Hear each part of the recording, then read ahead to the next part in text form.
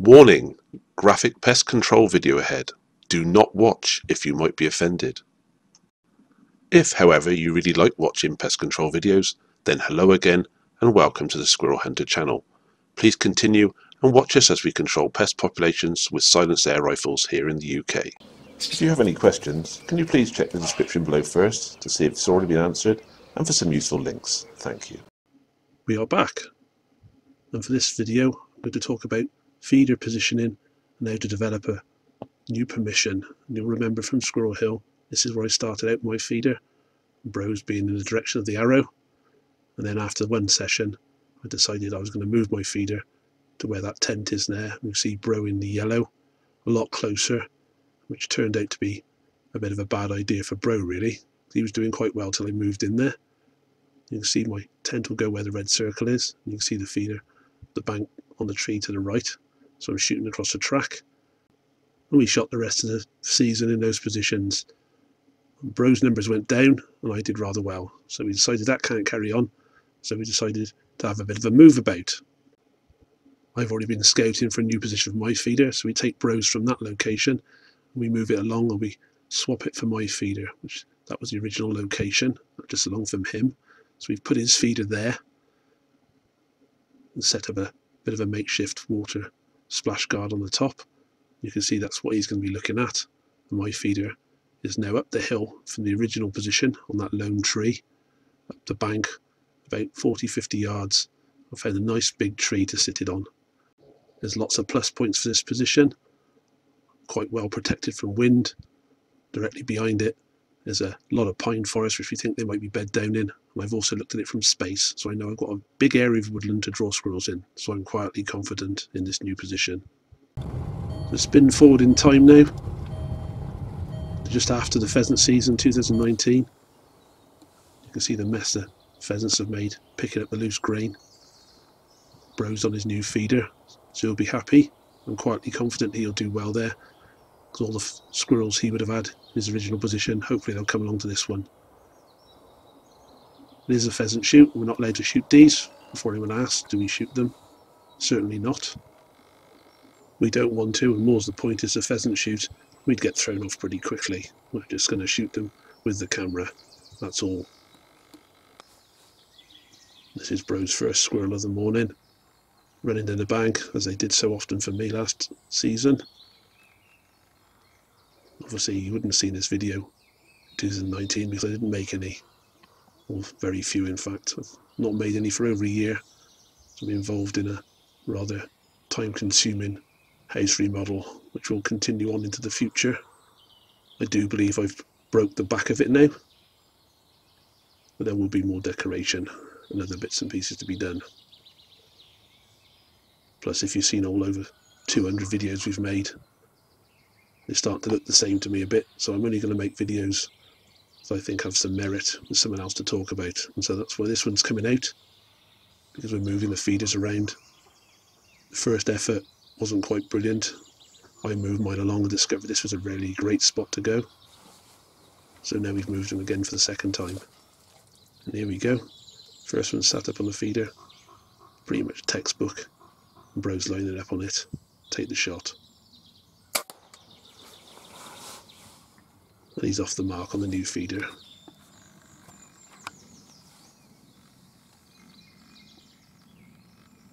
Standard back leg kick in. Look at the link in the description as to why they do that. Got to keep saying it because people keep asking. I don't really answer YouTube comments that much anymore. I simply haven't got the time. I must confess, since I've been working on the house, I sort of got out of the habit of making videos. If you know me, you'll know I'm quite an obsessive person with things, and I was obsessive for a few years making videos. I really want to make the ones I want to make now, if that makes any sense. This one has got a few points in it. I've got some good footage in the can from 2019. We never ever stopped shooting, just stopped making videos. There's a finite amount of time that I can lend to things, and some has to give somewhere. This is scroll number two. I could speed it up, I'm just going to let you sit and watch it. So moving forward from now, I'll make them when I have the time, the interest, and I've got some good footage. There won't be any promises of certain days of the week like there was. How I kept that up so long, I'll never know. But I do worry about making the same video over and over again. Ultimately, they are because we're shooting the squirrels. And to my mind, once you've seen one of these videos, you've pretty much seen them all. When it comes to the shooting of the squirrels, the same methodology pretty much every time. I will probably focus more on Squirrel Hill because he's got so many squirrels when I do make videos. We had some quite good days out. Places absolutely heaving with them. Bro does well, I do well, and so does Bruv. But you'll see that in coming videos when I get a chance to make them.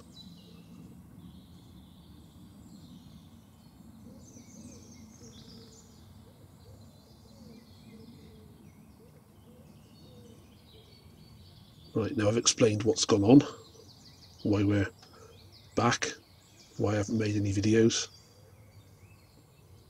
The rest of the video I'm going to shut up unless there's something interesting to say instead of waffling.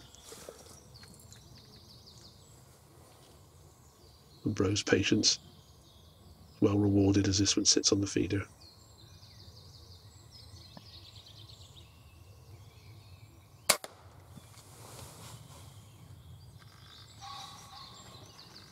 Nothing wrong with that. Exactly how we want it to be. See that bit of a dip has been created. With the pheasants I do believe scrat in there. That needs filling in.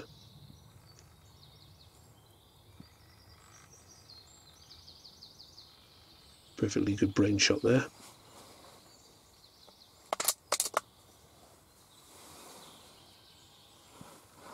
and squirrel two on the deck.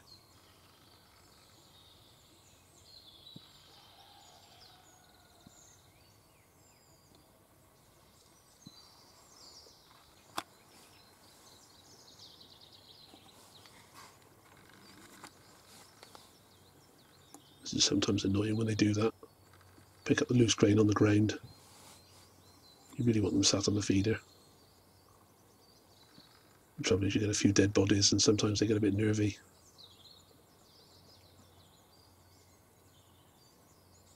The bro's pretty patient. We'll just have to wait and see what happens this one.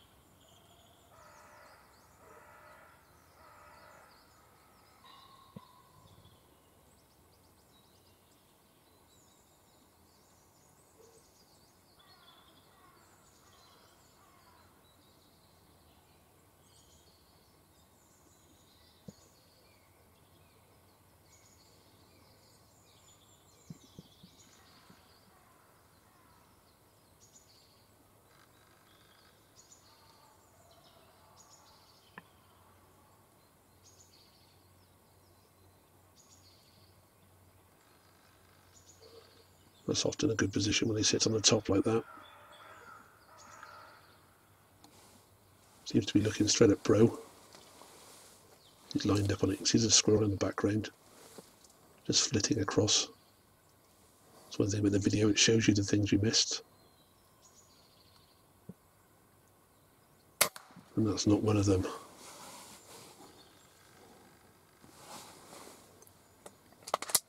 Very nearly a straight on headshot that.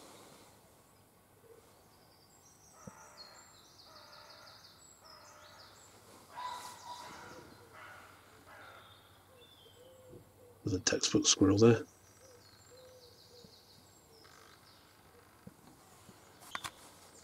I do believe that's the other squirrel. Didn't go far. They very often forage their way to the feeder.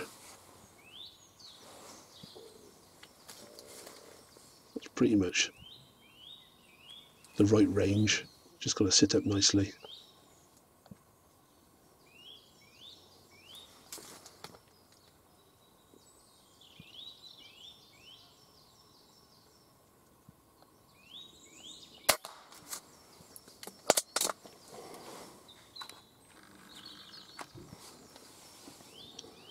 Nicely taken shot there, bro.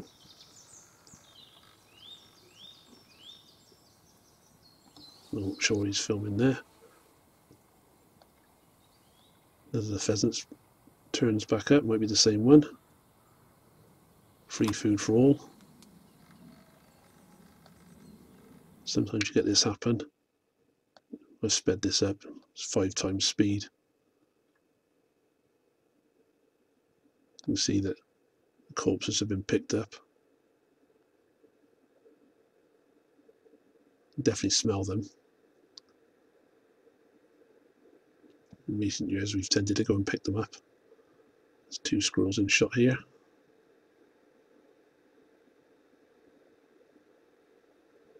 Usually leads to a squirrel sitting on the feeder a little bit quicker. And that's Bro's phone. I'm texting him. That's his text call, believe it or not. It's a squirrel call.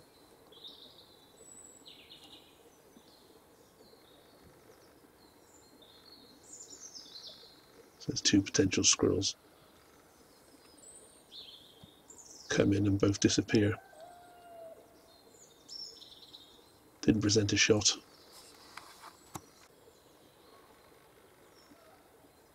Not sure if that's the same squirrel.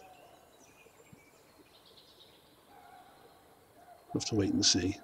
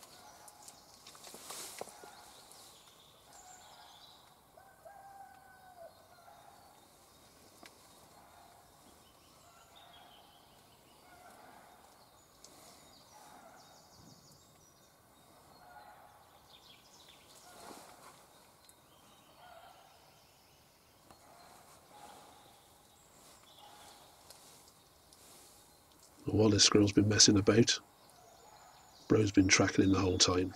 And he only needs him to sit still in a nice feeding position, like that,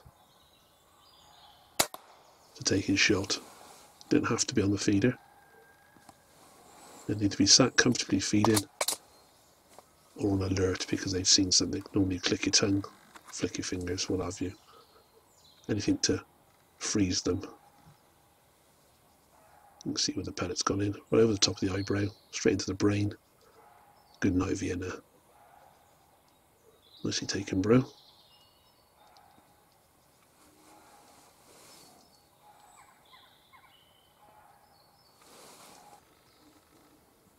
Sometimes when you've been waiting a while, you tend to mess about on your phone or faff around with your bag or get a cup of tea and, and a squirrel will appear out of nowhere as this one's done. Sometimes they'll run down the back of the tree, pop out. This location, most of the time, they come down the hill towards you, sometimes from behind the hide, but I'd say 85 to 90% come down that hill.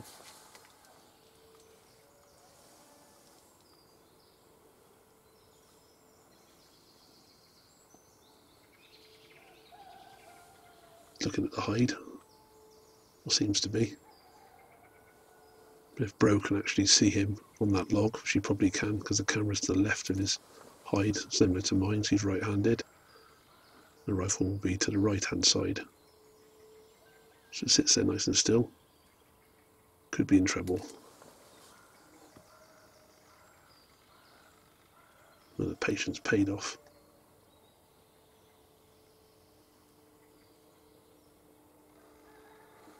It's more like it.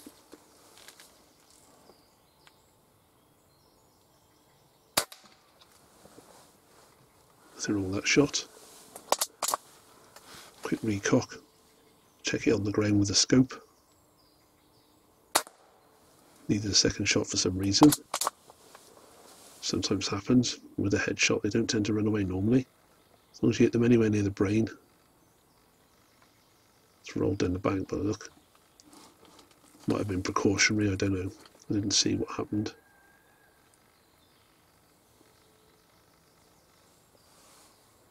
Definitely dead now. That's the final total for Bro.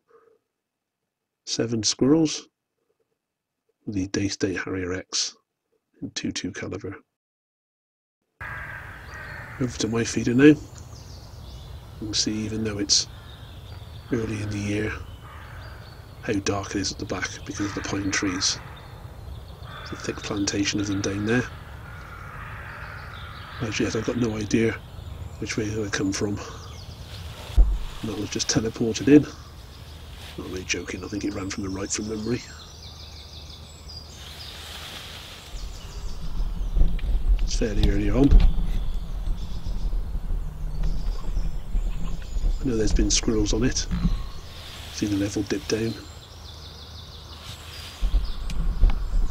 Some of them must be about I'm using the firearms rated Theoben Rapid 2.0 caliber, about 18 foot pounds, with a Discovery scope on top of it. Very good scopes, like them a lot. Through all that headshot.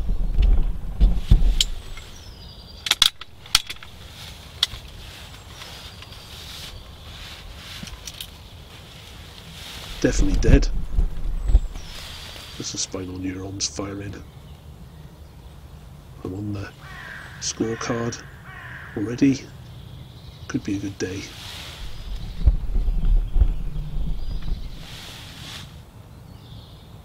Happy with that shot. See how many more I can get. Like bro, I got the pheasants visit my feeder as well. Such a pretty bird, and so stupid at the same time. And again, I'm not going to even attempt to look at it with the rifle, I'm just going to film it. After a while, it slopes off to the left, goes about its business. That's all I've got to keep me interested. Not seeing a lot of wildlife, and certainly not seeing many squirrels after the first attempt. If he goes around the woods, might catch sight of something, playing on my phone. Young deer. I'm guessing it might be a fallow. I'm sure somebody will tell me different. Fallow or roe, not sure. It's not my area of expertise. It's like a young male.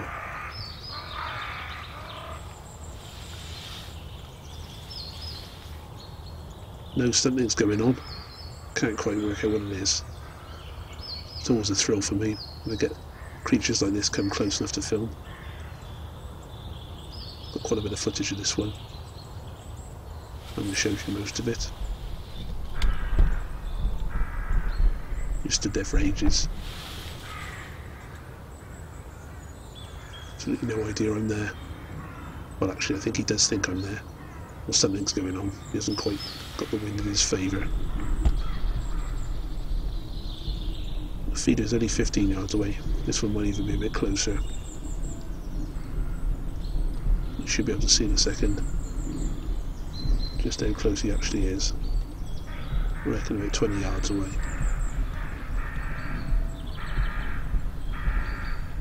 Directional mic's picking up the sound quite well. You know something's going on, he keeps looking at the tent, can't work it out. Watch his nose going. Keeps getting little whiffs in me, I think. Eventually go far enough around so he can win me properly. Become very interested now, hasn't he? I'm sort of ducking down and trying to film with my head ducked down near the sight. Whether he can see the camera moving a fraction, I don't know. His nose will go in a minute. See the nostrils going. He can smell something. He's not happy.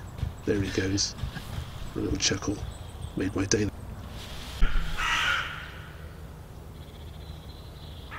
Seem to have picked the noisiest part of the wood. Very often I'll turn the camera on just to catch the bird song. A noisy old crow. I've spotted a squirrel here somewhere.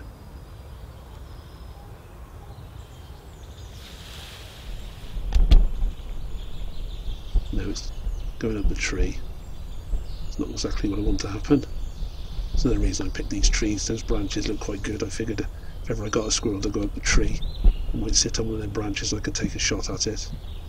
A lot of dead branches low down. Means there'll be no leaf on there in the summer. I'll be able to see it easily. It's another plus point for that tree. And that squirrel just disappeared into the top of the trees, never to be seen again.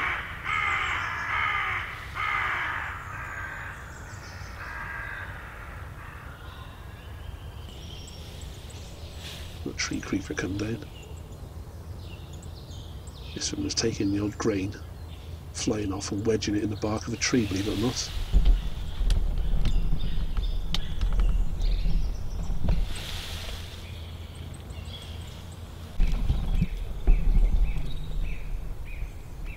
Seen some over there.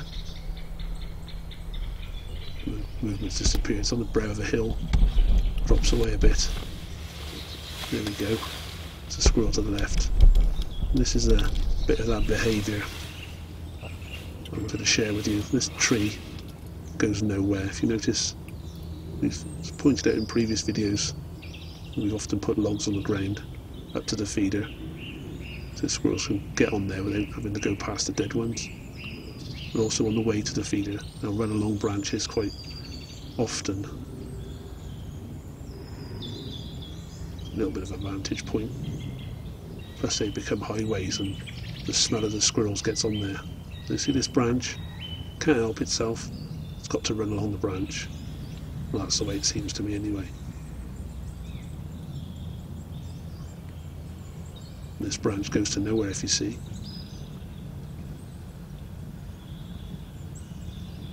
I'm still confident it's going to go to the feeder. It's heading in the right direction.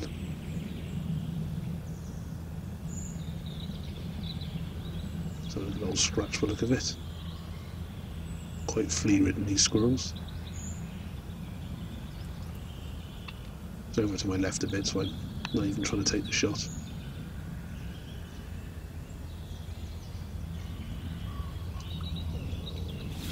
There's another one gone up the tree.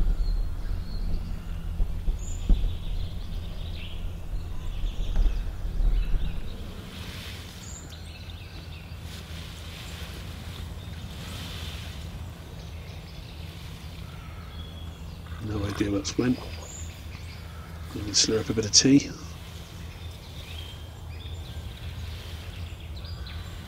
Hmm, completely disappeared.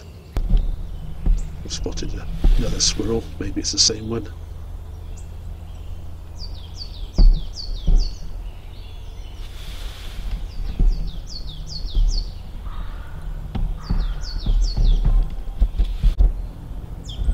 Mr. pheasant's appeared again. Something startled him.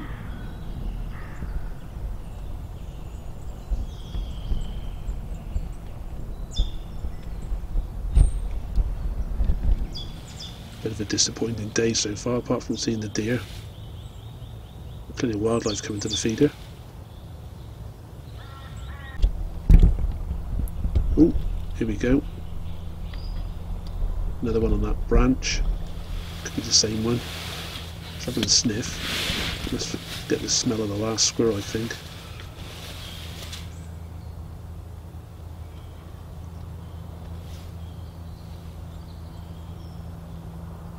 Definitely sniffing the branch, isn't he? Or she, I'm not sure what it is yet. There we go. Case in point. Where do you want to go now, squirrel? There's nothing on the end of that branch. So to go back. So they just can't help themselves. Run along the branch.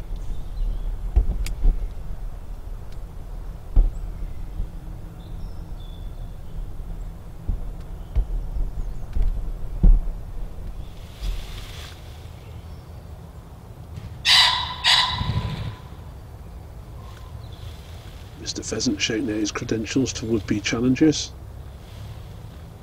And the squirrel's got up in the sky. Where's it gone now?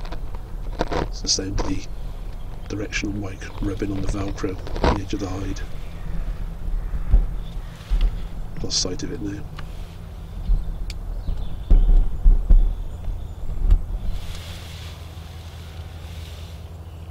There it is. It's come down the back of the tree, sat on the ground.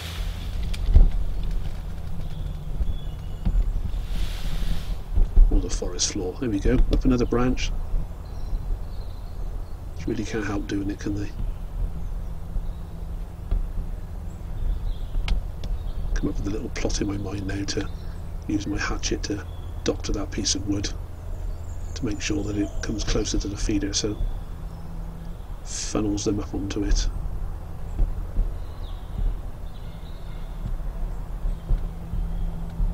It's looking better by the second this is.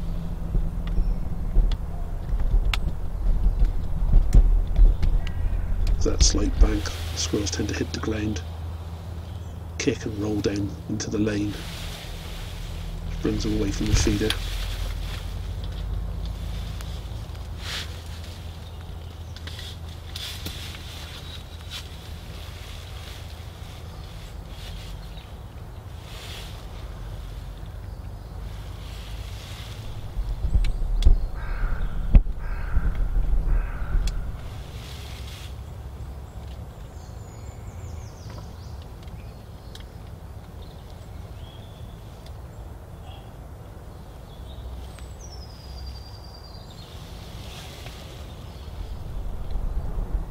Times like this it could get frustrating. But if you come and go, I'm not that confident it's going to sit for me. So when opportunity arises, I'll take him out if I can. There's a safety catch going off.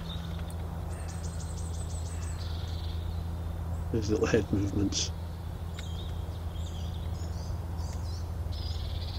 It can often cause a miss or a wound. Pays not to take a shot when they're doing it. That's why the feeding position is so good. And when they're on alert.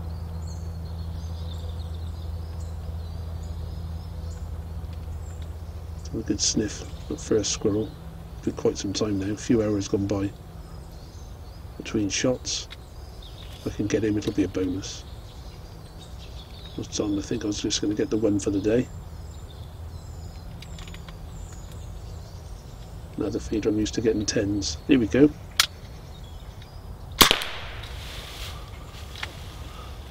Opportunity not. JSB exact. Found the mark.